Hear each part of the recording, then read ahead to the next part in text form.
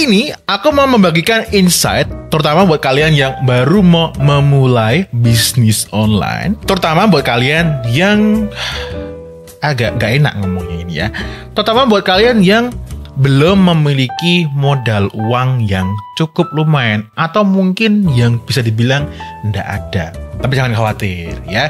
Di episode terbaru mulai bisnis online kali ini aku akan memberikan insight ke kalian ya kan suatu ilmu insight yang nantinya bisa memungkinkan kalian mendapatkan cuan walaupun kalian tidak memiliki modal duit yang cukup lumayan ya tetapi tetap nanti kalian harus punya modal yang lainnya. Nah, apa itu dan juga apa yang akan kalian lakukan? Simak aja di Mulai Bisnis Online pada episode terbaru kali ini dengan Fusik. Let's go!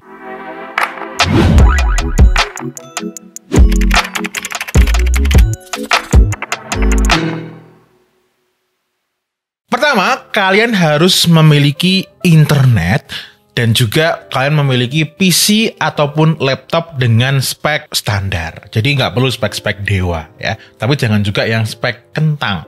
Jadi teman-teman kalau memiliki laptop yang mungkin ya seperti core-nya 4 core itu udah lebih cukup. Oke, okay?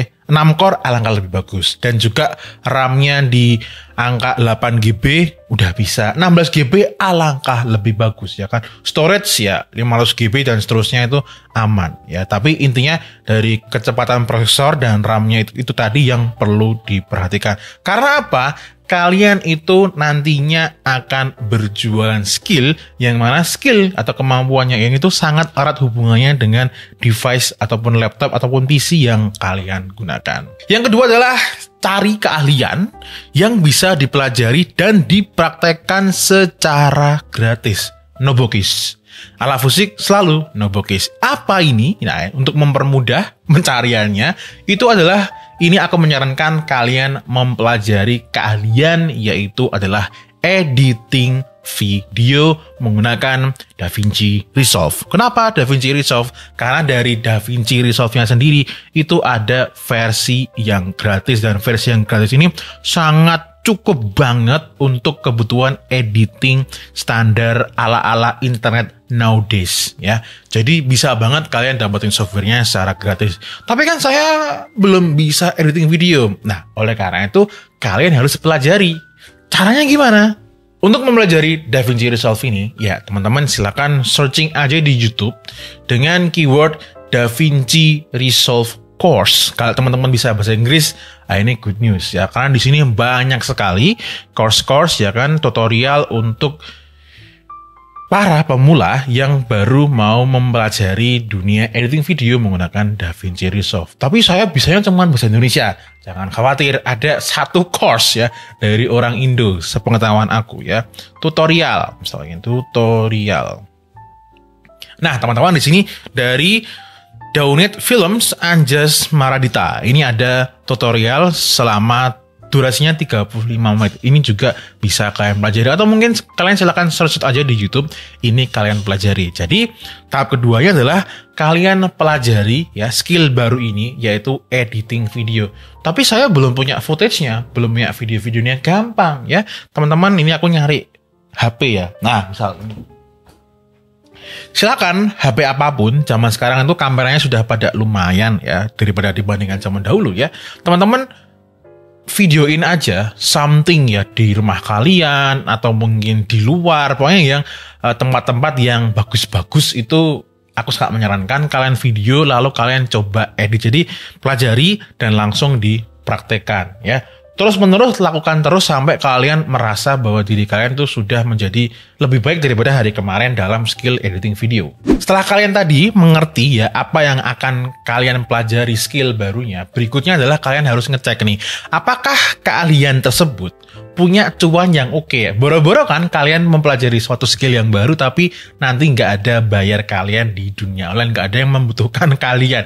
Itu nanti bisa buang-buang waktu ya.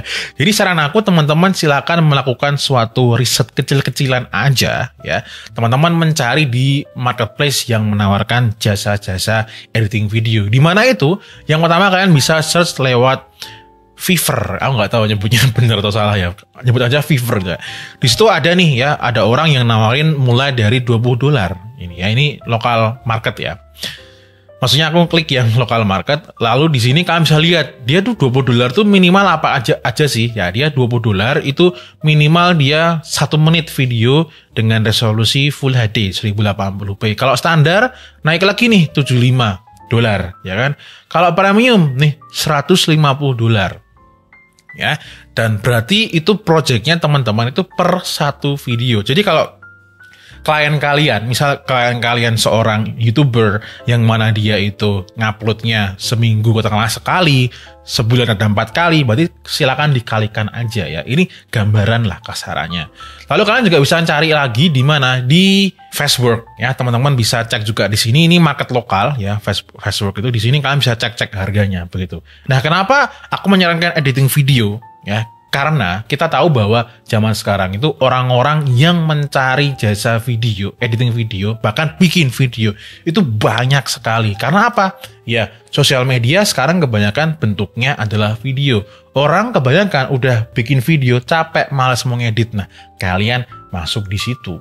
Tentu ini semua tidak mudah ya karena kalau kalian nanti cuma sebatas mengandalkan kayak si Fiverr ataupun Facebook berarti kalian harus bertarung dengan hmm, seller-seller yang lain yang menawarkan jasa yang sama.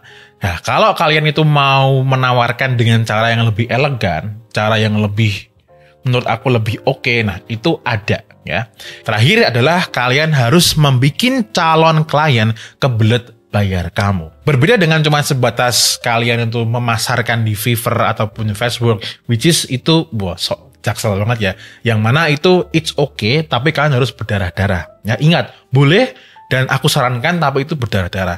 Nah, cara yang terakhir, bukan cara yang terakhir, step yang terakhir ini itu adalah kalian harus bikin konten original. Kalian bikin di YouTube semacam kayak tutorial, bagaimana kalian mengedit video, bagaimana kalian misal color grading, dan kalian contohin ini loh behind the scene kalau aku ngediting video. Dengan kayak gitu nanti orang-orang akan melihat, oh skill kamu itu ketika dipraktekkan hasilnya seperti ini. Nah, hanya dengan cara seperti itu orang akan melihat value dari kamu, maka kalaupun kamu itu harganya itu tidak seperti pada umumnya, who cares? Karena orang sudah melihat value yang kamu tontonkan. Seperti Fusik ya, seperti Fusik menakar harga konsultasi ya terserah aku karena mereka yang beli itu ya mereka yang sudah klik dengan harga yang aku tawarkan karena sudah melihat value yang aku demokan di YouTube ini. Tentu nggak cuma sekedar di YouTube, kalian juga bisa merambah ke Instagram ataupun TikTok ya. Itu guys, ya di mulai bisnis online pada episode terbaru kali ini. Semoga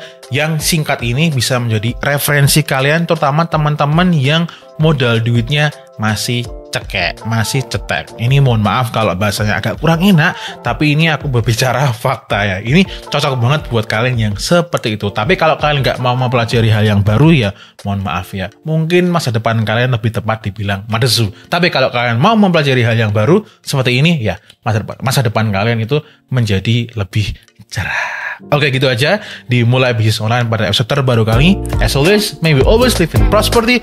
This is Fusik signing off. Bye bye.